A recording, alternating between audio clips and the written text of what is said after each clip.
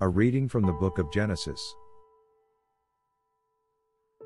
The Lord appeared to Abraham by the terebinth of Mamre.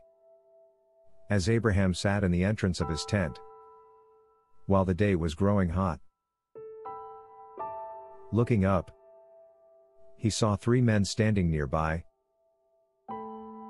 When he saw them, he ran from the entrance of the tent to greet them. And bowing to the ground, he said, Sir, if I may ask you this favor, please do not go on past your servant. Let some water be brought, that you may bathe your feet, and then rest yourselves under the tree.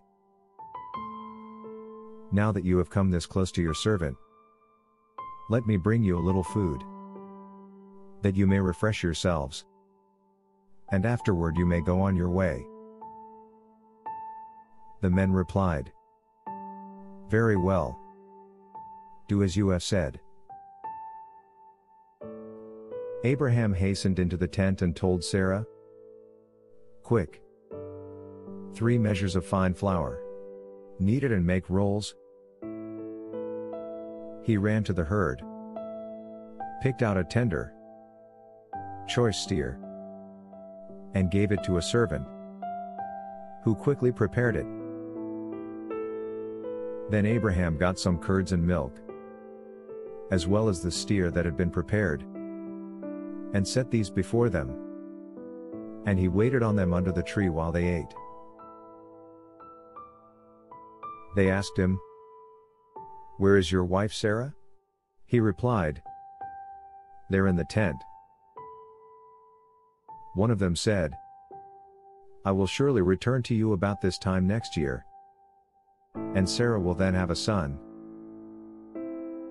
Sarah was listening at the entrance of the tent. Just behind him.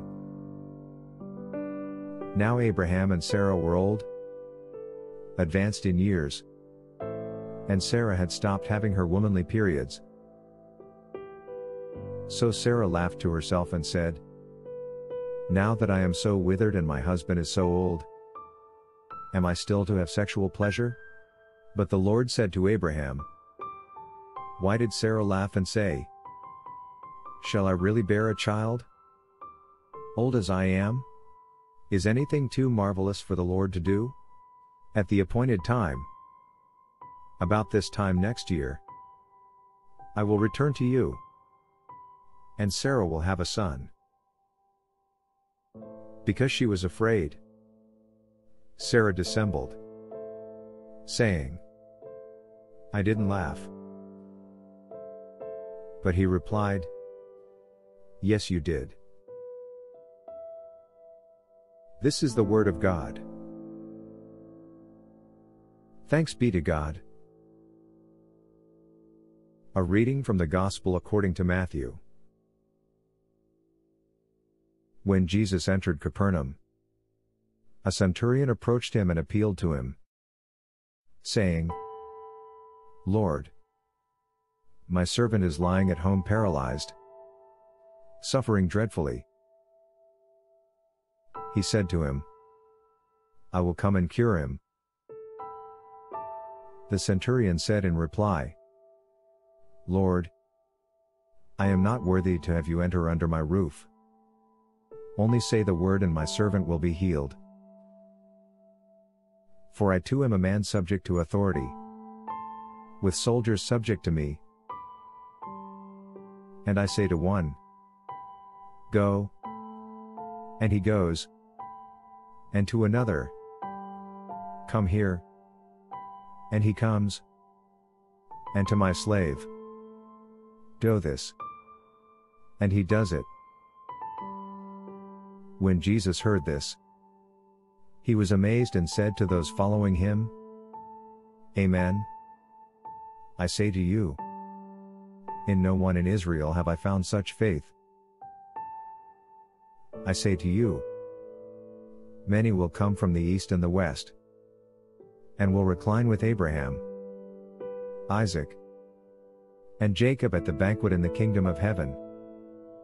But the children of the kingdom will be driven out into the outer darkness. where there will be wailing and grinding of teeth. And Jesus said to the centurion, You may go, as you have believed. Let it be done for you. And at that very hour his servant was healed. Jesus entered the house of Peter and saw his mother in law lying in bed with a fever. He touched her hand. The fever left her, and she rose and waited on him.